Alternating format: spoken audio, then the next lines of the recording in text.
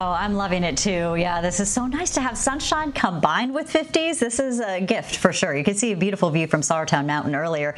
And some of those clouds are parting at least from east and still hugging the mountains in the west. But you can see Sauratown Mountain looking out over the foothills and into Winston-Salem. Beautiful. How about 54 degrees for you right now? Winds out of the south-west at about 6 miles an hour and it feels like 54. So we are pretty comfortable out there with sunshine starting to fill in for Mount Airy down to North Wilkesboro too. Now, clouds are beginning to thin out in the mountains, but it's going to take a few more hours there. Temperatures are still comfortable. We've got upper 40s, although you might feel colder thanks to the winds coming up out of the west. There it's going to be a bit gustier.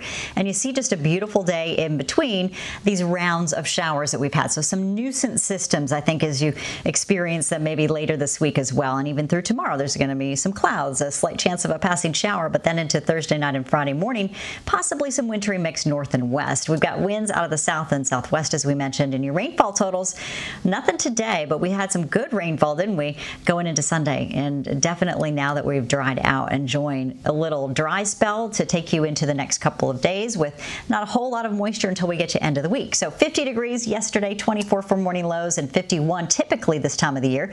This is nice to be near normal or slightly above. You can see the scattered showers are down to our south. We look at being in between these systems. So ridge of high pressure trying to build in briefly before the next round of weather could bring in a passing shower. But we're warm. You know, we have temperatures that are remaining mostly above freezing throughout the day. And look at these possible 60s as we get you into the afternoon today. We may have to bump your highs up just a little bit more. We're already at 54 in Winston-Salem and 55 in Greensboro. So we like that trend. And we are going to see those temperatures approach the upper 50s to near 60, but not quite as warm on your Wednesday. You can see the clouds filling in again overnight.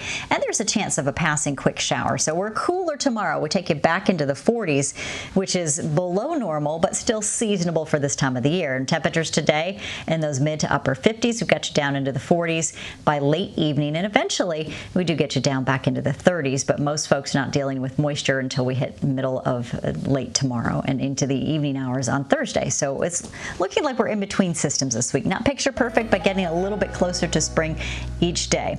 All right, here's your seven day forecast. You can see as we go into your Thursday, that rain chance continues to build overnight into your early morning. There's a chance of some wintry mix, even for parts of the triad, the northern Piedmont Piedmont may also see a better opportunity for that in mountains. And it should be brief. And remember, temperatures should be going back in the other direction above normal, or at least above freezing, I should say, if just a little bit below normal. And we do stay chilly for the weekend. Looks cold. We'll keep in a slight chance on Saturday that we can see a flurry or two.